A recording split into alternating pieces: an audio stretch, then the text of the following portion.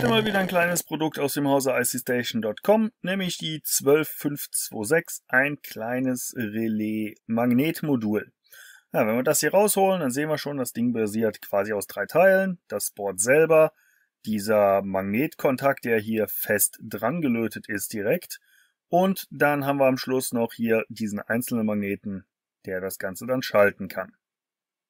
Wenn wir näher auf das Modul gucken, dann sehen wir schon, hier oben haben wir so zwei Schraubterminals. Da kommt dann die Stromversorgung dran für das Modul selber, ein kleiner An-Ausschalter, ein Chip, das ist ein LM393 und hier hinten haben wir einen 817, das ist ein Optokoppler.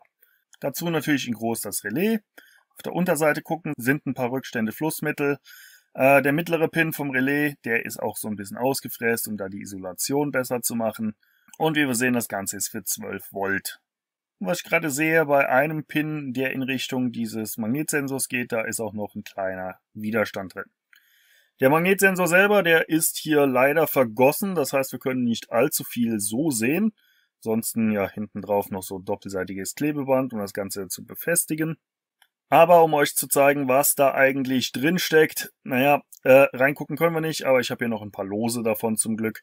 Das hier, das ist das, was da drin ist eine kleine Glasperle und da drin sind zwei Kontakte, die sich vom Magnetfeld beeinflussen lassen. Um das zu sehen, gehen wir mal ein bisschen näher ran.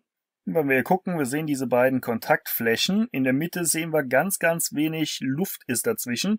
Das heißt, die berühren sich nicht. Das Ding ist im Moment also offen.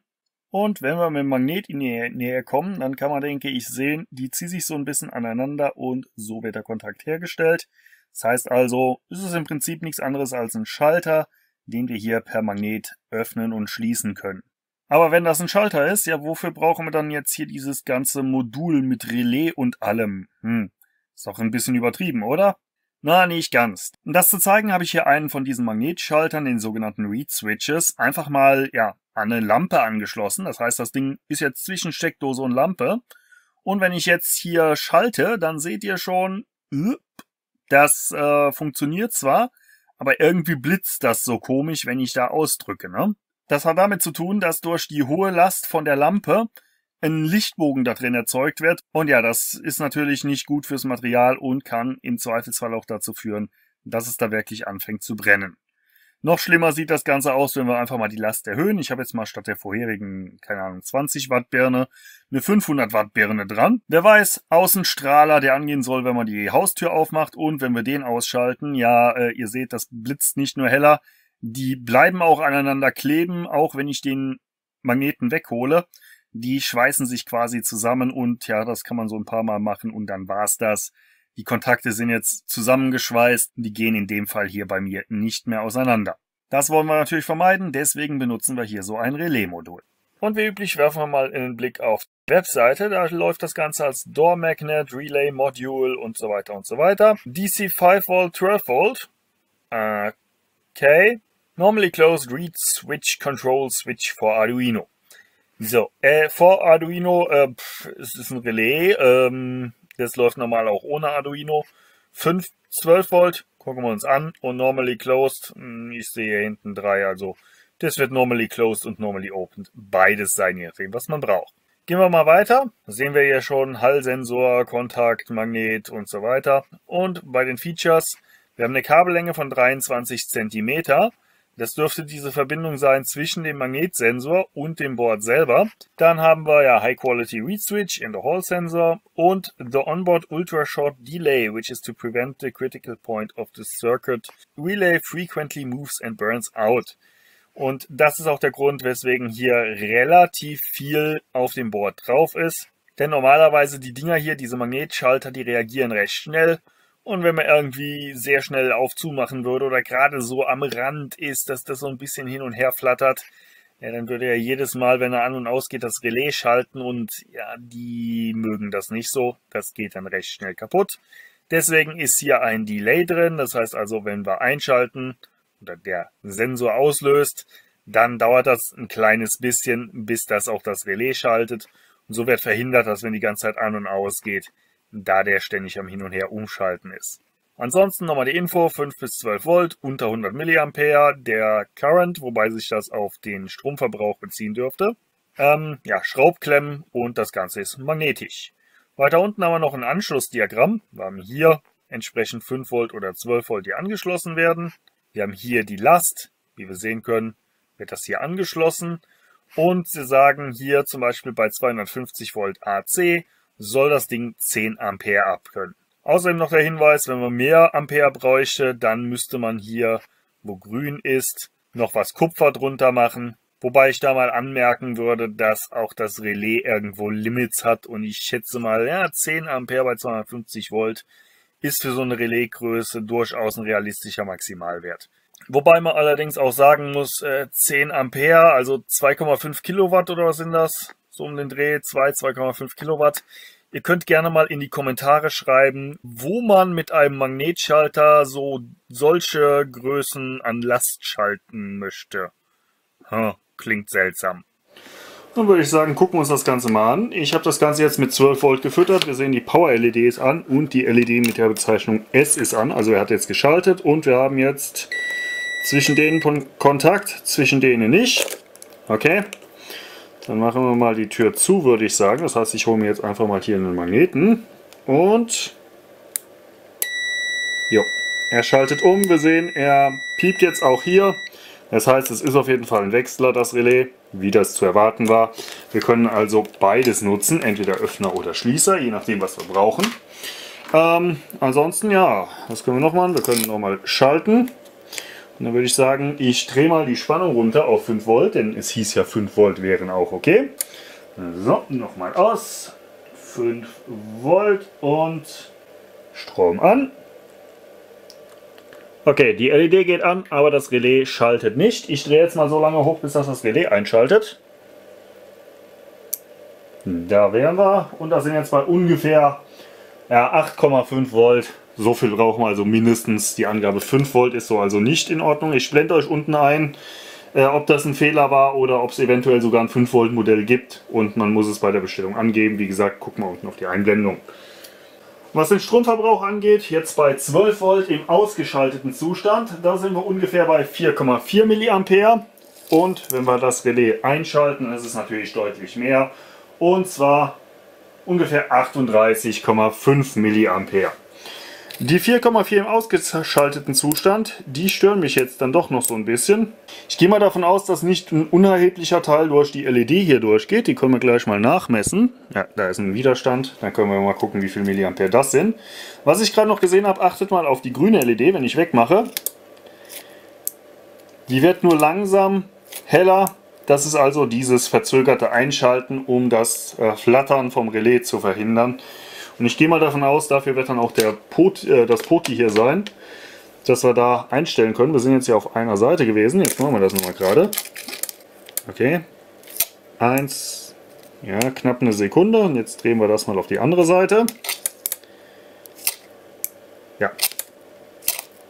Das ist deutlich langsamer. Also wir können hier die, diese Zeitspanne ein bisschen einstellen. Und dann spielen wir noch eine kleine Runde. Ja, wie viel haben wir denn hier? Ich gucke jetzt erstmal, wie viel Ohm der Widerstand hier hat, der neben der LED ist. Und was haben wir da? Wir haben einen 4,71 Kilo Ohm. Okay.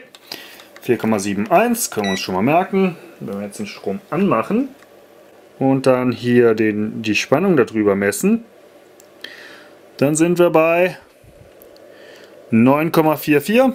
Wenn wir das dann mal kurz überschlagen, dann kommen wir auf ungefähr 2 mA, die die rote LED zieht. Bleibt also immer noch ein ordentlicher Rest, der hier in der Elektronik offensichtlich äh, benötigt wird. Und ja, das heißt dann wohl oder übel, dass die Batterielaufzeit von hier so einem Modul nicht so berauschend wäre. Das geht da mit Sicherheit auch irgendwie deutlich besser. Ja, was den Anschluss angeht, ich werde euch das hier an dem Schalter mal zeigen. Wichtig dabei, das hier ist von meinem Haussteuersystem, das heißt hier sind keine wirklich kritischen Spannungen drauf. Wenn ihr zu Hause ein normales Lichtsystem habt, mit normalem Netzstrom, also 230 Volt, dann aufpassen, die Spannungen, die können lebensgefährlich sein, die können euch ganz schnell unter die Erde bringen. Und äh, aus gutem Grund ist Arbeiten an solchen Systemen in Deutschland lediglich Elektrofachkräften vorbehalten. Das heißt also, äh, wenn ihr normalen Netzstrom habt, bitte nicht selber dran rumfummeln. Das kann schief gehen und ja, das geht euch nur einmal schief. So, erstmal müssen wir ins Innere kommen. Bei hier denen heißt das, dass die Frontplatte ab muss. Dann kommen wir ins Innere. Als nächstes haben wir hier so einen Zwischenring. Der müsste hier rausgehen. Ein bisschen quer, wie es aussieht. So.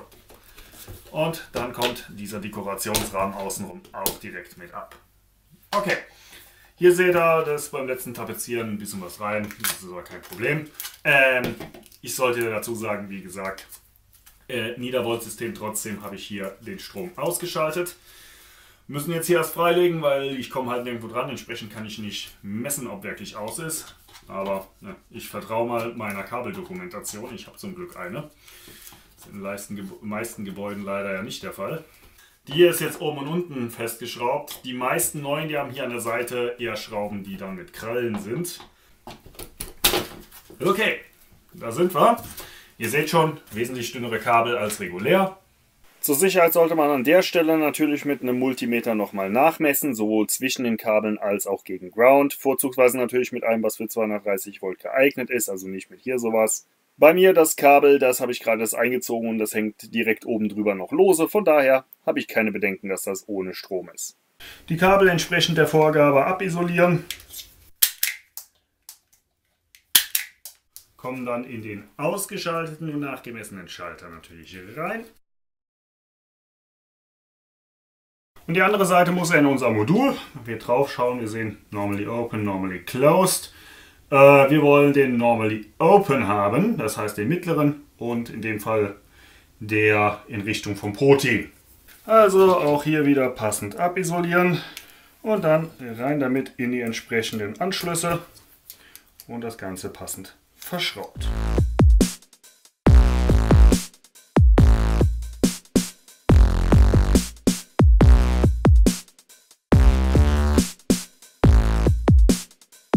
Was die Stromversorgung angeht, werde ich wahrscheinlich mit einer 9 Volt Blockbatterie hier arbeiten. Ähm, ist zwar jetzt nicht ganz die 12 Volt, die rein sollen, aber müsste ausreichen, um das Ding zu äh, betreiben und ja, sollte auch zumindest mal ein bisschen was halten.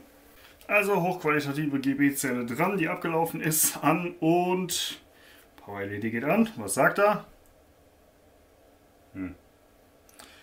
Nicht wirklich. Die grüne LED geht zwar an, aber ich höre kein Relais und es schaltet auch nichts. Ich habe das Gefühl, die Zelle ist dann doch hinüber. Na gut, war haltbar bis 1 2017. Probieren wir mal eine andere, ob wir mit einer besseren 9 Volt Zelle mehr Glück haben oder ob wir tatsächlich 12 Volt brauchen. Ja, und ich habe anscheinend nur abgelaufene von den Dingern. Hier haben wir eine Pyre, was auch immer, äh, die ist abgelaufen 2 2017. Hey, einen Monat später.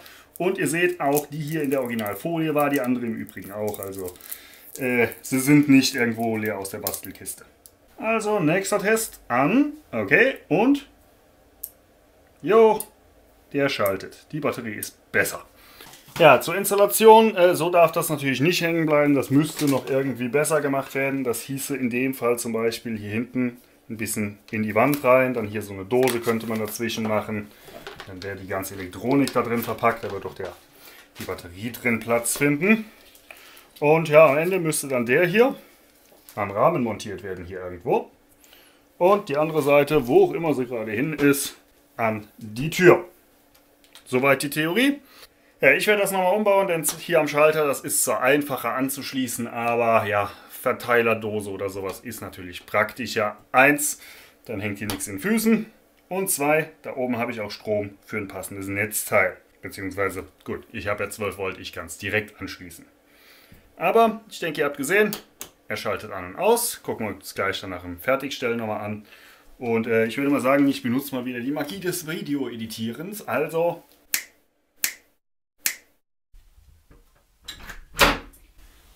Jo, also offensichtlich geht das Licht an. Ähm, hier in den Räumen ist das ganz okay, würde ich schätzen, weil, ähm, naja, hier drin kann man sich eh nicht groß drehen. Das heißt, es wird wahrscheinlich keiner reingehen und die Tür zumachen. Ansonsten hier ist noch ein Schalter, wenn man den anschaltet, bleibt das Licht halt an. Ähm, ja, würde ich sagen, funktioniert.